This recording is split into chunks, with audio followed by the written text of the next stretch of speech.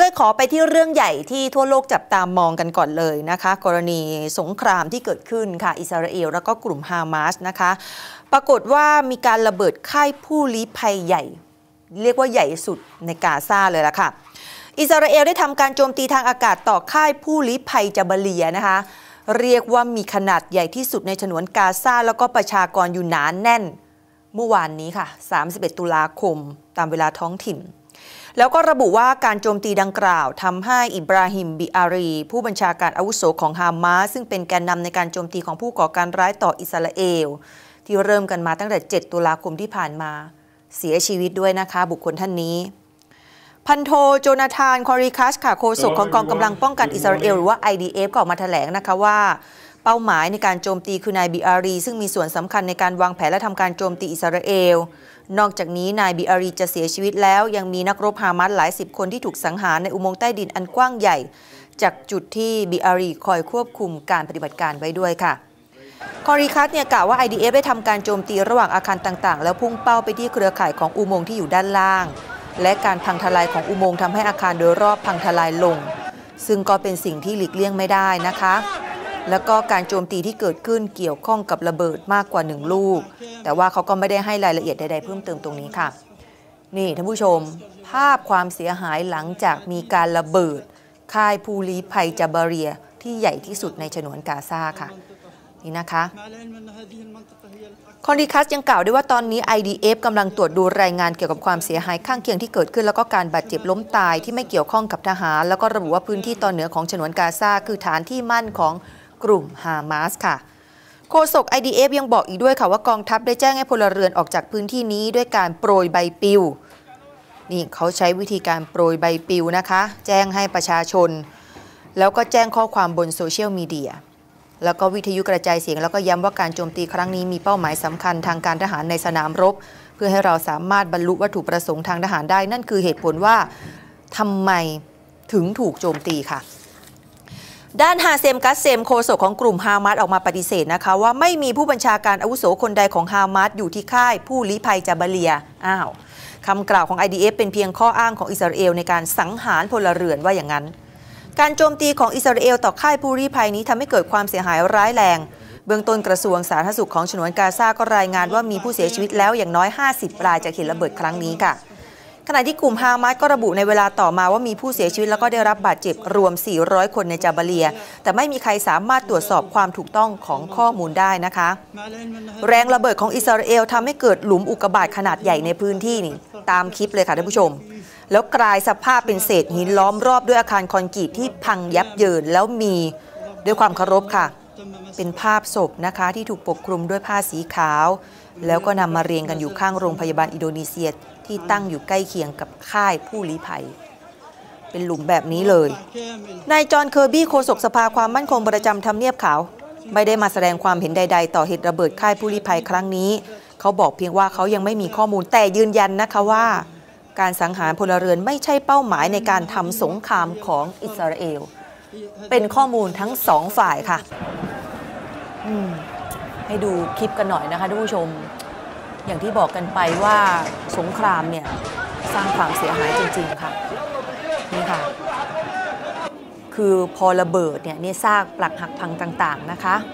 แล้วก็เป็นหลุมอุกกาบาตไป คือจุดเนี้ยเรียกว่าเป็นจุดผู้ลี้ภัยจาบาเลียคือใหญ่ที่สุดในฉนวนกาซานั่นเองค่ะ ขณะเดียวกัน Facebook กระทรวงต่างประเทศนะคะ กลับมาที่บ้านเรา เดี๋ยวนะคะเอ้ยขอดูข้อมูลเพิ่มเติมด้วย เดี๋ยวกลับมาที่บ้านเราในส่วนของที่บ้านเราเนี่ยเป็นเรื่องของการเจรจาค่ะท่านผู้ชม การเจรจาในการที่จะช่วยเหลือตัวประกันนะคะ ขณะที่ข้อมูลเพิ่มเติมเนี่ยมีการอัปเดตนะว่าอิสราเอลกองทัพอิสราเอลได้เปิดเผยภาพสิ่งที่กองทัพระบุว่า เป็นปฏิบัติการสู้รบในฉนวนกาซาแล้วก็มีทหารเคลื่อนตัวจากอาคารหนึ่งไปอีกอาคารหนึ่งภาพนี้ค่ะ นี่ค่ะ เป็นทหารใช่ไหมคะ ตัวออกจากอาคารหนึ่งไปอีกอาคารหนึ่งโดยกองทัพอิสราเอล กล่าววันนี้แหละวันพุธว่ากองกำลังของตนได้โจมตีเป้าหมายติดอาวุธมากกว่า 11,000 เป้าหมายในฉนวนกาซานับตั้งแต่เริ่มทำสงครามกับกลุ่มฮามาส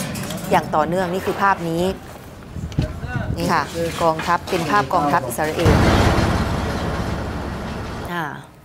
อะเรานำเสนอข้อมูลแบบอัปเดตนะคะ เดี๋ยวยังไงเพิ่มเติมยังไงที่อิสราเอลเดี๋ยวจะต้องมาต่อเนื่องกันค่ะ พี่เล็กจากพังงามาแล้ว สวัสดีนะคะ นี่ค่ะ สวัสดีทุกท่านเลยค่ะ ขณะเดียวกันนะคะ Facebook กระทรวงต่างประเทศค่ะ กลับมาที่บ้านเราเมื่อวานนี้ รัฐมนตรีปานปี พหิทธานุกร ซึ่งเป็นรองนายก แล้วก็ทำหน้าที่เป็นรัฐมนตรีว่าการกระทรวงต่างประเทศอย่างที่ทราบกันดีว่าท่านมีภารกิจไปเจรจาเกี่ยวกับเรื่องนี้นะคะ ก็ได้ไปหารือกับดรฮุไซอามีรอับดุลรอฮิยอน รัฐมนตรีว่าการกระทรวงการต่างประเทศสาธารณรัฐอิสรามอิหร่านณกรุงโดฮา รัฐกาตา นี่คือภาพที่เกิดขึ้นค่ะ รัฐมนตรีว่าการกระทรวงต่างประเทศก็ได้แสดงความยินดีที่ได้พบกับรัฐมนตรีว่าการกระทรวงต่างประเทศอิหร่าน ขณะที่ทั้งสองฝ่ายก็เยือนกาตาร์ในช่วงเดียวกัน แล้วก็แสดงความห่วงใยกังวลต่อสถานการณ์ความไม่สงบในอิสราเอลแล้วก็กาซา โดยเฉพาะอย่างยิ่งผลกระทบต่อพลเรือนผู้บริสุทธิ์ ในการนี้ฝ่ายไทยก็ขอรับการสนับสนุนจากอิหร่านให้มีการปล่อยตัวคนไทยที่ถูกจับเป็นตัวประกัน ซึ่งฝ่ายอิหร่านรับก็จะให้การคือเขารับนะคะว่าเขาจะให้การสนับสนุนอย่างเต็มความสามารถเลย นี่ก็ถือว่าเป็นสัญญาณบวกค่ะ นอกจากนี้ทั้งสองฝ่ายก็ได้หารือเกี่ยวกับการขยายความร่วมมือทวิภาคีและการส่งเสริมความสัมพันธ์ในทุกมิติ ตลอดจนแลกเปลี่ยนมุมมองเกี่ยวกับพัฒนาการในภูมิภาคด้วยก็ถือว่ามีความคืบหน้านะคะนี่นะคะเขาก็ทางรัฐมนตรีกระทรวงต่างประเทศเนี่ยท่านก็โพสต์ภาพนี้ใน Facebook นั่นเองค่ะ ในโอกาสนี้เองเนี่ยนอกจากนี้ทั้งสองฝ่ายเขาก็หารือเกี่ยวกับความร่วมมือทวิภาคี แล้วก็หวังให้มีการแลกเปลี่ยนการเยือนระดับสูงอย่างต่อเนื่องด้วยนะคะ แล้วก็เพิ่มพลวัตความสัมพันธ์ในทุกสาขาก็พูดคุยกันเรื่องอื่นๆด้วยนี่แต่เขาก็พร้อมที่จะสนับสนุนแล้วก็มีการช่วยเหลือเต็มที่นั่นเองขณะเดียวกันนะคะท่านผู้ชมเมื่อวานนี้ที่ลานบินของท่าอากาศยาน เบนกูเรียนกรุงเทลอาวีฟค่ะ ก็เป็นเรื่องที่เศร้าใจมาก ๆ นะคะ เอกอัครราชทูตณกรุงเทลอาวีฟค่ะ คุณพันนภาจันทรารารมพร้อมด้วย คุณนฤชัยนินนาฏรองอธิบดีกรมการกงสุล คุณศักดินาสนที่ศักโยธินผู้ตรวจราชการกรมสำนักงานประกันสังคม และคุณกิตนาศรีสุริยะอัครราชทูตที่ปรึกษาฝ่ายแรงงานก็เป็นผู้แทนฝ่ายไทย เข้าร่วมพิธีไว้อาลัยและส่งร่างผู้เสียชีวิตชาวไทย 11 ราย ที่เสียชีวิตจากเหตุการณ์ สงครามในอิสราเอลกลับประเทศไทยค่ะ แล้วก็จำนวนร่างที่เพิ่มขึ้นก็คือคุณมีชัยฤทธิผลนะคะ นี่ค่ะ ก็แสดงความอาลัยนะคะ แสดงความเสียใจกับทางครอบครัวด้วยจริง ๆ ค่ะ คืออันหนึ่งร่างผู้เสียชีวิตทั้ง 11 ร่างนี่จะถูกส่งประเทศไทยด้วยสายการบินของอิสราเอลนะคะ ที่จะออกเดินทางจากกรุงเทลอาวีฟในเวลา 20นาฬิกาแล้วก็จะถึงท่าอากาศยานสุวรรณภูมิ วันนี้ค่ะท่านผู้ชม 1 พฤศจิกายนในช่วงเที่ยงที่ผ่านมานั่นเองค่ะ ขณะเดียวกันนะคะสืบต่อเนื่องกันเลย เพราะว่าเราก็ต้องอบพยพพี่น้องคนไทยของเราพี่ๆแรงงานที่ไปทำงานที่นั่น กลับมาโดยด่วน เพราะก่อนหน้านี้ก็ออกมาเตือนกันว่าอยากจะให้กลับเพราะกลัวว่าสถานการณ์จะยืดเยื้อแล้วก็รุนแรงมากขึ้น เดี๋ยวเอื้อขอไปที่นายกรัฐมนตรีก่อนนะคะท่านนายกเองก็วอนกลับประเทศค่ะท่านนายกเศรษฐาก็ชี้แจงเที่ยวบินสุดท้ายในเรื่องของการอบพยพคนไทยนะคะ แล้วก็ช่วงบ่ายเนี่ยก็เดี๋ยวจะมีการพูดคุยกับนายกอิสราเอล แล้วก็ยกระดับการเจรจาด้วย วันนี้ท่านนายกเศรษฐาทวีสินค่ะในฐานะรัฐมนตรีว่าการกระทรวงการคลังด้วยนะคะวันนี้ท่านก็ให้สัมภาษณ์ถึงสถานทูตไทยประจำกรุงเทลอาวีฟระบุว่าให้แรงงานไทยในอิสราเอลที่ประสงค์เดินทางกลับประเทศไทยให้มารวมตัวกันที่โรงแรมอินเตอร์คอนติเนนตัลเทลอาวีฟในเย็นวันนี้ก็ถือว่าเป็นเที่ยวบินเที่ยวสุดท้าย และจากนี้การอพยพจะไม่ใช้เที่ยวบินเช่าเหมาลำนะคะ และจากนี้การอพยพจะไม่ใช้เที่ยวบินเช่าเหมาลำ เพราะว่าเป็นหน้าที่ของรัฐบาล เมื่อมีประชาชนแสดงจิตจำนงจะเดินทางกลับก็ต้องจัดการเรื่องเที่ยวบินให้เหมาะสม แล้วก็ตรงนี้เนี่ยคงต้องขออ้อนวอนวิงวอนกันอีกครั้ง ขอให้คนไทยกลับมาเถอะ ตอนนี้เราบริหารจัดการได้ตามที่พูดไว้ว่า เราจะเอาแรงงานไทยกลับมาให้หมด แต่จำนวนคนที่แสดงจิตจำนงจะกลับมาก็ยังน้อยอยู่ หวังว่าจะไม่มีอะไรเปลี่ยนแปลงตรงนี้นะคะ ทีนี้เนี่ยผู้สื่อข่าวถามถึงความคืบหน้าภายหลังจากที่คุณอารีเพนอุตรศินที่ปรึกษาประธานสภาผู้แทนราษฎร แล้วก็คณะทำงานของอาจารย์วันนอ ประธานสภาไปเจราจาและพูดคุยกับกลุ่มตัวแทนฮามาสในอิหร่านด้วย แล้วก็เพื่อช่วยเหลือตัวประกันก็มีรายงานว่าจะมีข่าวดีเรื่องการปล่อยตัวทานายกก็ตอบว่าก็หวังว่าจะเป็นอย่างนั้นทุกฝ่ายพยายามเดินหน้าตลอดเวลาอีกทั้งคุณปานปี ซึ่งเป็นนายกรัฐมนตรีว่าการกระทรวงต่างประเทศก็รายงานเข้ามาแล้วว่าเป็นไปในเชิงบวกแต่ไม่อยาก ให้เรื่องความเคลื่อนไหวตอนนี้มากเกินไปก็อยากดูเรื่องของผลงานมากกว่านะคะนี่นะคะนี่ท่านนายกก็อะวอนให้คนไทยกลับเพื่อความปลอดภัยด้วยขณะเดียวกันนะนี่คือหมอชัย หมอชัยวัชรงค์นะคะ ซึ่งเป็นโฆษกประจำสำนักนายกรัฐมนตรี ก็เปิดเผยถึงข้อความของสถานเอกอัครราชทูตณกรุงเทลอาวีฟที่ระบุให้แรงงานไทยในอิสราเอลที่ประสงค์เดินทางกลับประเทศไทยด้วยเที่ยวบินอบพยพ ก็สอดคล้องกับท่านนายกเมื่อกี้ คือให้เดินทางมาที่โรงแรมอินเตอร์คอนติเนนตัลของเทลอาวีฟในวันนี้ภายในเวลา 17 นาฬิกานะคะโฆษกประจำสำนักนายกรัฐมนตรีก็บอกว่าสถานเอกอัครราชทูตณกรุงเทลอาวีฟก็โพสต์ข้อความพูดถึงแรงงานไทยในอิสราเอลที่ประสงค์เดินทางกลับ เที่ยวบินอพยพให้เดินทางมาที่โรงแรมค่ะ ภายในวันนี้ในเวลา 17 นาฬิกานะคะ แล้วก็เรื่องสิทธิประโยชน์ตามมาตรการเยียวยาสำหรับคนที่เดินทางมาจากอิสราเอล ก็จะมีรถโดยสาร ไปส่งยังสถานีขนส่งมอชิด เพื่อให้กลุ่มคนไทยสะดวกต่อการเดินทางกลับภูมิลำเนา อย่างไรก็ตามในกลุ่มคนที่ซื้อบัตรโดยสารเครื่องบินเดินทางกลับมาเอง ก็จะได้รับสิทธิประโยชน์ตามมาตรการเยียวยาเช่นกัน โดยกระทรวงแรงงานก็เปิดให้แรงงานไทยที่เดินทางกลับจากอิสราเอล ตั้งแต่วันที่ 7 ตุลา ก็สามารถยื่นคำร้องขอรับเงินค่าใช้จ่ายในการเดินทางกลับไทย จากเหตุการณ์ความไม่สงบในประเทศอิสราเอล โดยเอกสารและหลักฐานการยื่นขอรับค่าใช้จ่ายต้องเป็นเอกสารค่าใช้จ่าย ที่เกิดขึ้นตั้งแต่วันที่ 7 ตุลาคม 2566 เป็นต้นไปนั่นเองค่ะนี่นะคะอะซึ่งวันนี้เนี่ยเราได้ติดต่อคุณหมอชัยเอาไว้ด้วย เดี๋ยวยังไงถ้าคุณหมอพร้อมแล้วเนี่ยเราจะมาพูดถึงหลาย ๆ ประเด็นโดยเฉพาะเรื่องของการเยียวยา พี่ ๆ แรงงานไทยที่เขากลับมาแล้ว ได้รับมอบหมายมาจากรัฐบาลได้อย่างไรจะได้มาสื่อสารกันนะคะะเพื่อที่จะให้กำลังใจกับพี่ ๆ ที่เขาเดินทางกลับมาด้วยนะคะ สวัสดีทุกคนค่ะ สวัสดีทุกท่านเลยคุณนพวิทซึ่งเป็นสมาชิกของ YouTube มติชนทีวีน่ารักมาก ๆ มาทุกวันเลยนะคะ แล้วก็หลายๆท่านนะคะ ทักทายนะคะ สวัสดีค่ะ สวัสดีท่านผู้ชมนะคะ ทาง Facebook ด้วยนะคะ 400 กว่าท่านแล้วก็ YouTube ข่าวสดด้วยนะคะ รับชมอยู่ค่ะ สวัสดีค่ะ สวัสดีค่ะอะบอกชื่อจังหวัดกันเข้ามาหน่อย แล้วก็วันนี้ขอให้ได้เป็นเศรษฐีทุกคนนะขณะเดียวกันนะข่าวดี ข่าวดีก็ ที่เราขึ้นด้านหลังหน้าจอเลยนะคะ เพราะว่าวันนี้ที่รัฐสภาคุณอารีเพนอุตรศินซึ่งเป็นที่ปรึกษาประธานสภาผู้แทนราษฎรได้ถแถลงภายหลังจากที่บินไปอิหร่านเพื่อหารือกับตัวแทน 3 องค์กรปาเลสไตน์เพื่อปล่อยตัวประกันคนไทย 22 คนว่าก็พบตัวแทนฝ่ายฮามาสและตัวแทนฝ่ายอิหร่าน ก็คุยกันประมาณ 2 ชั่วโมงนะคะ แล้วก็เขาก็ให้คำมั่นสัญญาค่ะ ว่าจะให้คนไทยที่เป็นตัวประกันกลับมาแล้วพูดว่าฮามาสโหดร้ายจริงหรือไม่หลังอยู่ด้วยมาหลายสิบวันได้รับผลกระทบอะไรบ้าง ก็อยากให้มาออกสื่อนี่คือความปรารถนาของเขายืนยันจะให้คนไทยทั้งหมดที่ถูกกักตัว ไว้อยู่อย่างปลอดภัยและกลับมาประเทศหาครอบครัวอย่างมีความสุข คือที่เขารับปากกับผม และอยากให้ปล่อยตัวประกันออกมาทางอิหร่าน ซึ่งนายวันมูฮัมหมัดนอมัทา ประธานรัฐสภาหรืออาจารย์วันนอ อาจจะเดินทางไปรับด้วยตัวเองค่ะ เพื่อที่จะได้ขอบคุณอิหร่านที่ช่วยปล่อยตัวนะคะะเดี๋ยวไปฟังเสียงจากรัฐสภาวันนี้กันค่ะ เขา ก็เข้าใจที่เรามานั้น เรามาในฐานะที่ว่ามาในนามของสภาในนามของความรู้สึกของความเป็นมุสลิมด้วยกัน เราขอร้องว่าเรามานี่มาเพื่อขอสาดก็คือว่าขอให้เขาให้ทานคือว่าปล่อยคนงานคนไทยมาเพื่ออิสระเพราะคนงานคนไทยไม่เกี่ยวข้องอะไรกับการต่อสู้ของพวกเขา ซึ่งเขาบอกว่าช่วยให้ผมเรียนกับญาติพี่น้องของผู้ถูกจับ ทั้งหมดว่าคนเหล่านี้ ได้รับการดูแลไปอย่างดี คนเหล่านี้ไม่เดือดร้อน แต่หากว่าเขากำหนดวันเวลาที่จะปล่อยเขาเกรงว่า ระเบิดที่มาจากฝ่ายคู่ต่อสู้นั้นจะเกิดอันตราย เพราะฉะนั้นเขารอจังหวะว่าจังหวะใดที่เหมาะสมเขาจะทำการปล่อยทันทีนะครับเขาให้คำมันสัญญา เพราะเขาอยากจะให้คนไทยที่อยู่กับเขานี้กลับมาแล้วก็จะได้พูดว่าฮามาสนั้นโหดร้ายจริงไหม อยู่กับเขามาเป็นหลายสิบวันได้รับการกระทบอะไรบ้าง เขาอยากจะให้มาออกสื่อกับคนไทยเพราะนั้นเขาต้องดูแลนี่คือความปรารถนาของเขา โดยที่เขาบอกว่าเขาจะพยายามที่ทุกวิธีทางที่จะให้คนไทยทั้งหมดที่ถูกกักตัวไว้นั้น อยู่อย่างปลอดภัยและกลับมาอยู่กับ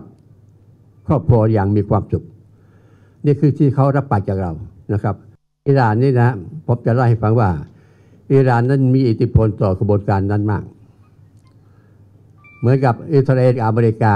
อเมริกาว่ายังไง อิสราเอลก็ว่าอย่างนั้นนะครับ เพราะฉะนั้นเราไปอิหร่านไปถูกจุด เพราะเป็นแหล่งสำคัญที่ว่าสนับสนุนไม่ว่าจะเป็นฮิสบุลฮามัสก็มาจากทางนี้ เพราะฉะนั้นเมื่อคนที่มีบุญคุณใหญ่หลวง เขาขออะไรเพราะว่าเขาไม่น่าจะปฏิเสธ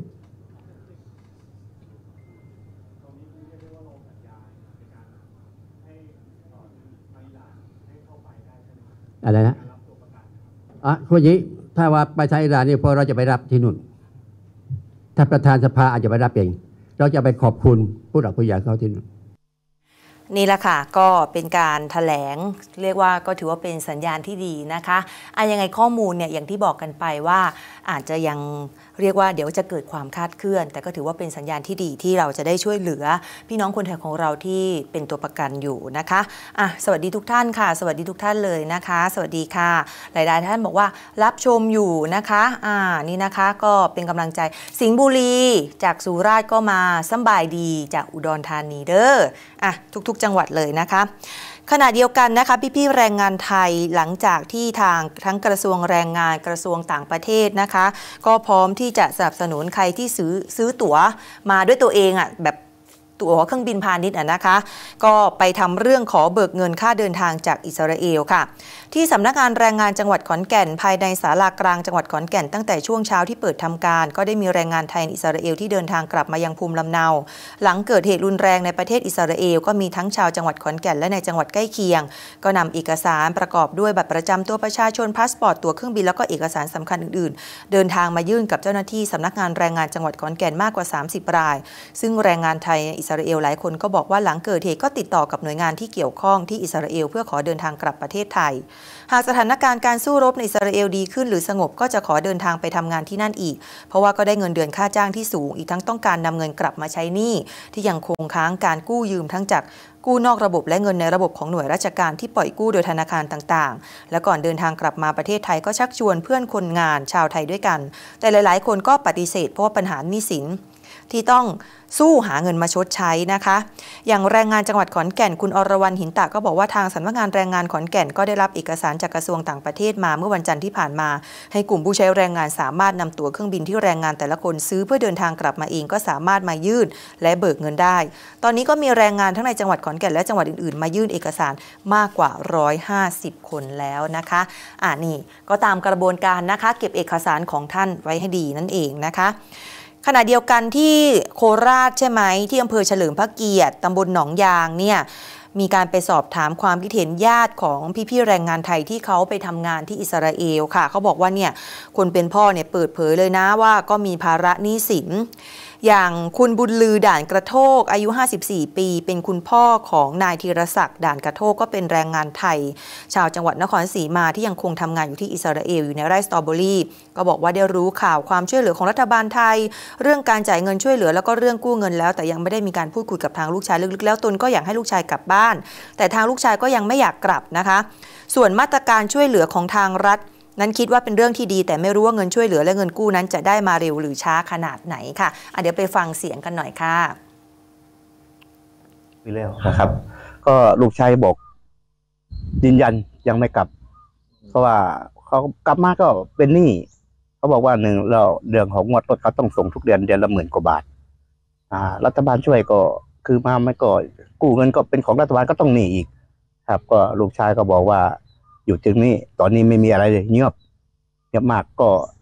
ขอสู้ต่อพ่อว่า เขาว่าว่าไม่มีอะไร ก็อยากทำงานอยู่ อ่า ว่าพ่อแม่เป็นห่วงไหมแฟนเขาเป็นห่วงไหมห่วงอยากให้กลับ แต่เขาเป็นคนใจหนักแน่นครับสถานการณ์ที่นั่นเขารู้ดีว่า เขาควรกลับหรือยังไม่ควรกลับครับเขาก็รัฐบาลก็อยากให้กลับทุกคนเนาะแต่แต่ลูกชายผมยังยืนยันว่ายังยังขออยู่ต่อก่อนต่อ แต่เราก็เข้าใจว่ารัฐบาลก็อยากให้หวังดี